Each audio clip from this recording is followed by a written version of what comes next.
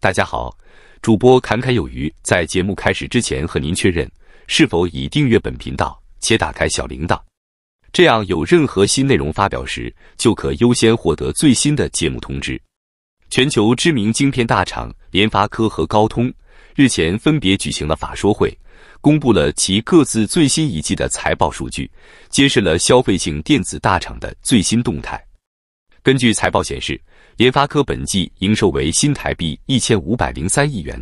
较前一季减少百分之一点九，但较去年同期增加百分之十八点一。相比之下，高通单季营收为一百零三亿美元，约合新台币三千亿元，规模是联发科的两倍大，营收较去年同期成长约百分之十。其中，设计晶片的 QCT 部门营收成长百分之十一。尽管高通营收规模更大，但联发科的营收成长比例更高。在营业利益率方面，联发科本季营业利益为新台币二百八十亿元，营业利益率为百分之十九点五，较前一季减少两个百分点，较去年同期增加十七个百分点。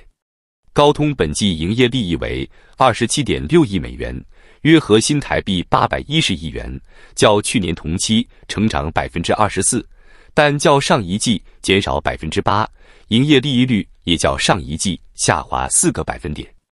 显然，联发科在维持获利能力上的表现更为稳健。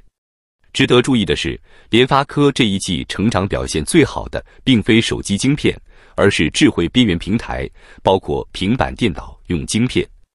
今年，联发科成功打入包括三星在内的各主流平板电脑供应链。智慧边缘平台营收年增百分之二十六，季增百分之七，占联发科总营收的百分之四十三。相比之下，联发科的手机晶片事业营收年增百分之十九，季减百分之三，成长力道有所放缓。展望未来，联发科将持续发展高阶旗舰手机晶片，同时大力发展资料中心 ASIC 晶片和车用座舱晶片，预计明年将开始贡献获利。联发科的扩张策略已见成效，营收成长和获利能力均表现出色。高通则正处于从手机市场向多元化转型的关键期。尽管手机晶片部门营收高达六十九亿美元，超过联发科全公司营收，但成长速度放缓，仅较去年同期成长百分之十一。高通正大力发展车用晶片和物联网晶片这两块业务，表现亮眼。高通车用晶片本季营收为九点五亿美元，较去年同期成长百分之五十九。物联网部门营收也达到十六点八亿美元，较去年同期成长百分之二十四。高通执行长阿蒙透露，公司正在积极布局云端市场和穿戴式装置领域。从两家公司的财报可以看出，IC 设计公司正积极布局后手机时代的新兴市场，车用晶片。平板和 PC 用处理器、头戴式显示装置、云端等领域机会众多。如何抓住这些新事业的契机，将成为观察联发科和高通未来发展的关键。与此同时，环球晶 （Global Wafers） 在今年六月从美国晶片法案中获得了超过两亿美元的拨款，约占该公司去年获得拨款的一半。这笔资金是去年十二月。拜登政府宣布的四点零六亿美元奖励的一部分，旨在支持 Global Wafers 在德克萨斯州和密苏里州的专案，以大幅提升美国矽晶片的产量。此前，美国川普政府曾对这些拨款的持续性表示怀疑，并称正在重新谈判部分晶片和讯息处理系统法案 （Chips Act） 的拨款。然而，美国商务部长卢特尼克在今年六月表示。部分拨款可能会被取消。Global Wafers 曾在五月份透露，这笔拨款将在达到特定里程碑后分阶段发放。值得一提的是，Global Wafers 在五月份于德克萨斯州谢尔曼开设了一家耗资三十五亿美元的新晶圆厂，该专案于二零二二年启动。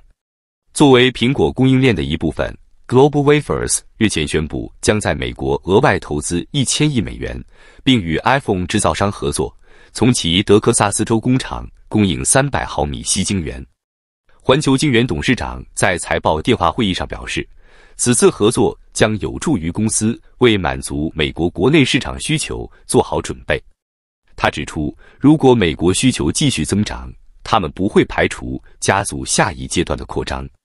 此外，环球晶圆在德克萨斯州谢尔曼的新晶圆厂已于五月份投产。该专案不仅标志着公司在全球扩张战略中的重要一步，也为美国本土半导体产业的发展注入了新的动力。随着全球半导体市场的持续增长，环球晶圆的这一系列动作无疑将进一步提升其在全球市场的竞争力。与此同时，三星电子近日也宣布，将时隔近十年再次向苹果公司供应下一代先进半导体晶片，标志着其在半导体领域的全面反弹。此次合作涉及智慧型手机影像感测器的供应，该领域此前由索尼独家供应。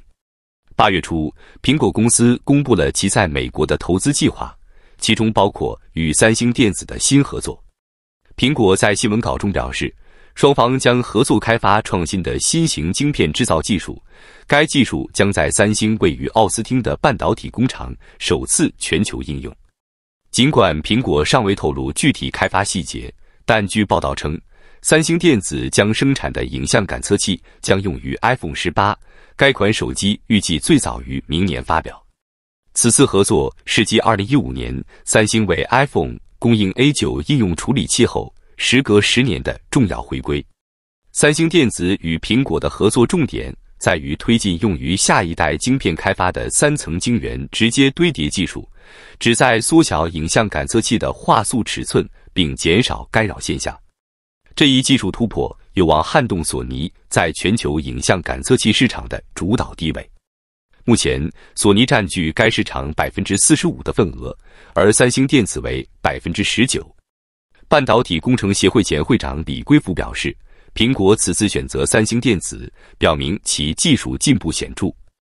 一旦合作取得突破，三星电机相机模块等其他产品与苹果的一揽子交易可能性将大增。此前，三星晶圆代工业务部门因缺乏大客户而陷入亏损。